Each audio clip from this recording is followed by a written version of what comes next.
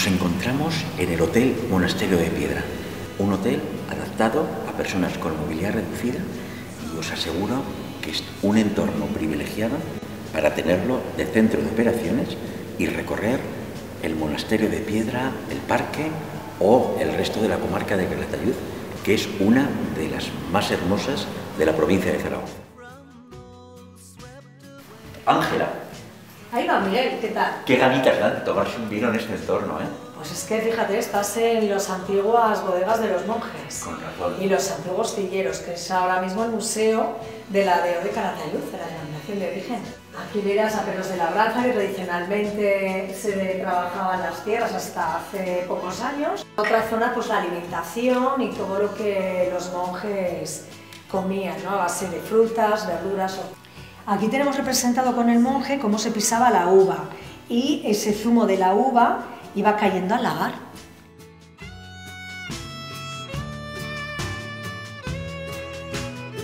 Qué maravilla el Museo del Vino, Ángela. Pues si te ha gustado el Museo del Vino, ya verás ahora, Miguel, lo que te espera en el Monasterio de Siemens. Wow, vamos a verlo. Pues sí, ahora. Bueno, ahora vamos a entrar al refectorio de los monjes, que es el antiguo comedor. Y Ay, tiene- está adaptado, tiene rampa.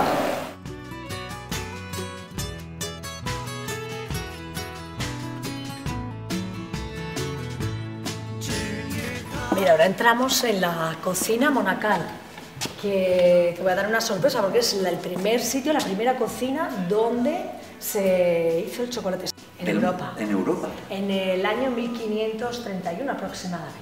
Claro, que lo trajeron de las Américas. Exacto. Wow.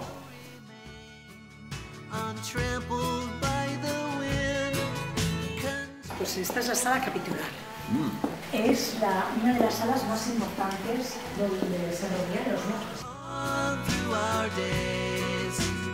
Ahora entramos a la antigua iglesia, la antigua abadía. Madre mía.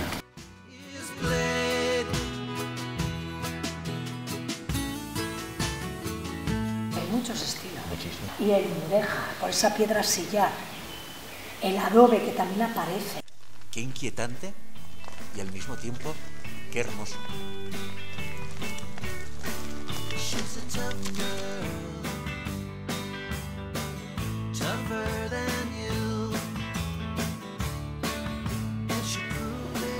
Otro lugar que no os podéis perder si venís a la provincia de Zaragoza es el Monasterio de Piedra. Es impresionante, bien adaptado, con rampas, vamos a poderlo recorrer con silla de ruedas. Y estamos en un entorno que realmente es emocionante y es imprescindible verlo. Y bueno, me voy a ver si encuentro algún monje y nos tomamos un vinito. O nos lo tomamos en el hotel mientras nos relajamos antes de cenar. Muchas gracias.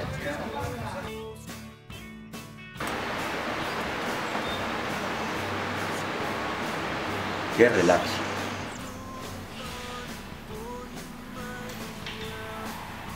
Vamos a disfrutar de la cena del monasterio de Piedra.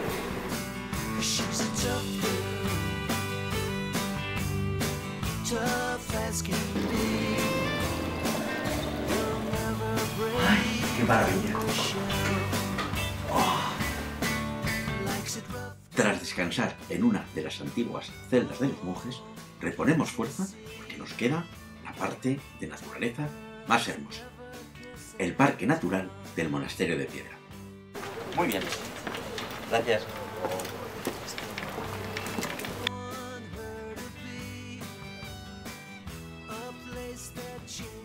El camino de descenso no tiene mantenimiento, así que puede que no esté en buenas condiciones y en cualquier caso siempre necesitaremos ayuda.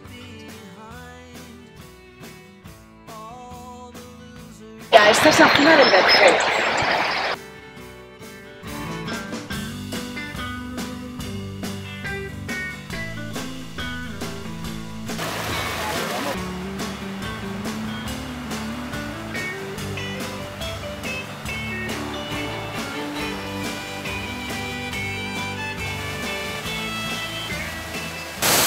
Estamos frente a la cascada del Baño de Diana, del Parque Natural del Monasterio de Piedra. Hemos llegado hasta aquí por un sendero de accesibilidad natural por el que disfrutaremos con nuestra silla de ruedas. Y es un rincón que no os podéis perder si visitáis visitáis la provincia de Zaragoza.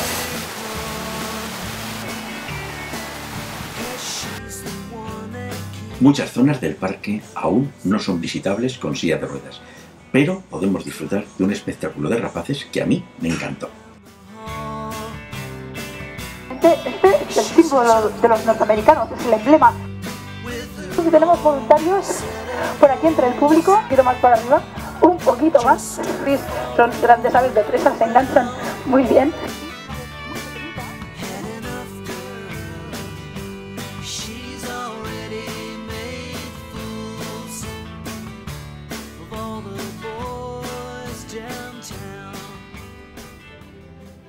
Después de una mañana intensa en el parque de Monasterio de Piedra, qué mejor que disfrutar de la gastronomía aragonesa en el restaurante Piedra Vieja.